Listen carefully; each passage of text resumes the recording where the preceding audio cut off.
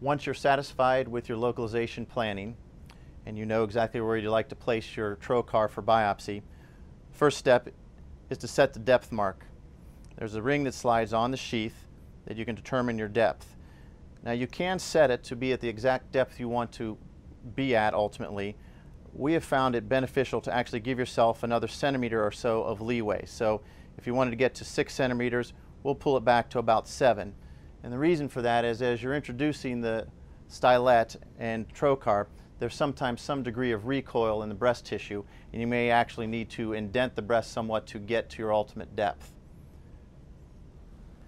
Having set your depth, you then slide the trocar in place and introduce this first through your block. We advise doing this so that you're able to actually find the skin nick you've made rather than put the block in first and then potentially miss the skin nick. So having done this, we first insert the trocar through the skin nick until we get to about the level of the sheath. At that point, then make sure your block is firmly seated and then introduce the trocar with a gentle twisting motion advancing to the depth that you've determined on your biopsy plan.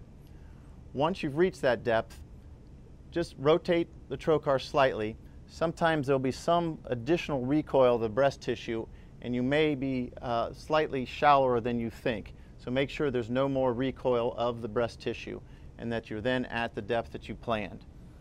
Having done that, grasp the sheath, pinch it, and rest your fingers against the block.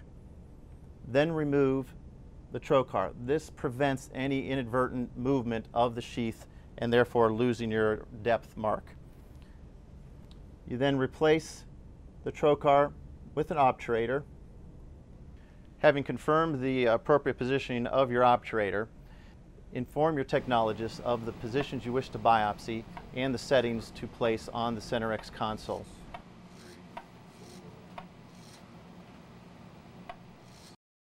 While that is being performed, return to the suite and you'll remove the obturator. Again, pinch the sheath flush with the block to avoid any movement of the sheath. Remove the obturator. You'll then receive the SenoRx biopsy gun. As you can see, the mechanism for running the gun is in a standard position oriented inferiorly. With this orientation, 12 o'clock denotes superiorly towards the patient. This allows access in very superior lesions with very little clearance needed to get the biopsy gun past the grid. Alternatively, if you had a inferior access you were trying to make, you can switch the position of the collection chamber so that it remains dependent and advance the needle in a more inferior position. So you have that great degree of flexibility as far as moving the actual mechanism so it's not Uh, impeding your entrance. Prior to actually beginning your biopsy, make one last visual check that the aperture for the biopsy is at the expected location. In this case, you can see the red indicator that this is at the 12 o'clock position, making sure that that's the position you wish to start with. To insert the device, again, grasp the sheath to prevent any movement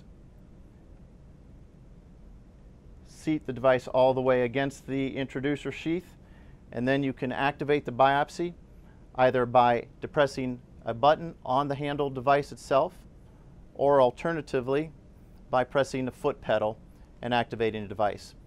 Once you've planned the biopsy, holding down either the button or the foot pedal will activate your fully planned biopsy. You merely hit the button or the pedal, hold it until the biopsy is completed, and the device will stop.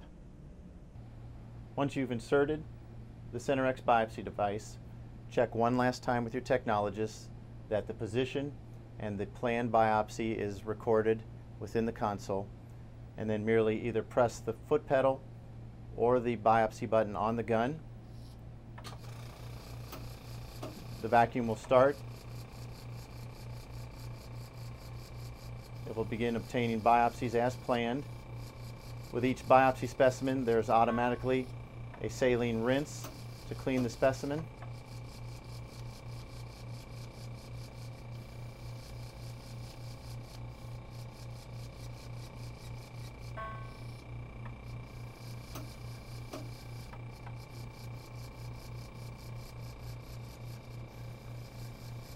The gun will complete the planned course of biopsies, and when completed, it will stop and you can release your foot pedal or your push button.